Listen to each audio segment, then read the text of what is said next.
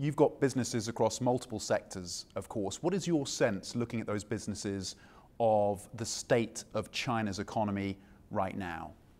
首先就是说，复兴的 First of all, Fosun indeed covers a wide range of business, but we concentrate on family consumption, health, happiness, wealth, so our business is very focused. Particularly in recent years, we have been more and more focused. Secondly, I'm very confident in China's economy. China has a large middle class, so there's huge domestic demand. Also, China's industrial chain is very strong in global competition. For the future, our Chinese business will still be the priority and the most important for Fosun. We sense that there is huge growth potential. We're obviously seeing tensions between Beijing and Washington rising, and there's also trade friction between Beijing and Australia, Canada, also India. How much of a headwind are those tensions for a business like yours?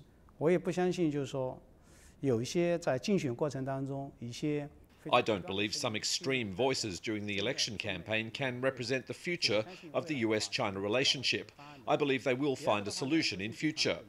Secondly, Fosun complies with local laws in our global positions. We are very friendly to local communities, so all of our investment and business development are welcomed.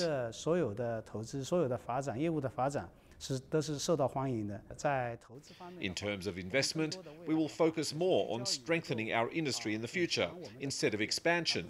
So we will concentrate on strengthening our existing businesses in regions we are already in. The broader business, you've got debt to capital ratio of about 56%. That's increased a little bit. It's not at dangerously high levels.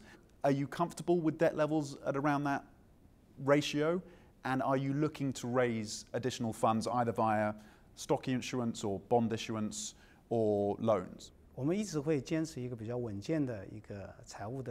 We will maintain a prudent financial policy so we are comfortable with the existing debt ratio. We won't aggressively change our financial strategy, but of course we won't be too conservative. Over the past few years, we've tried to get a balance between investment and debt, which means we have investments, but we also have exits. 说投贷平衡，就是我们有投资，但也有退出。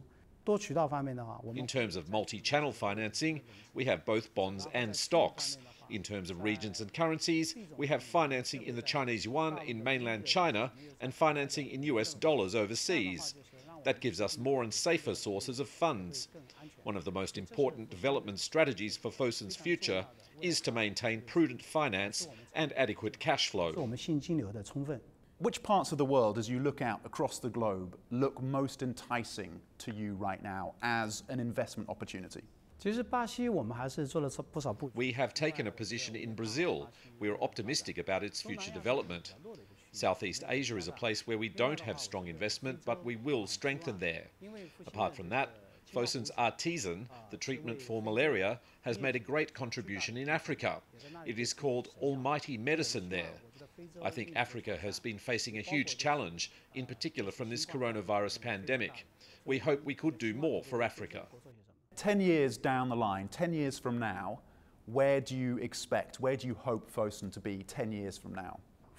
Fosun has a plan to grow 10 times in 10 years. We hope in the next decade our overall business will see 10 times growth, big growth in the customers we are serving.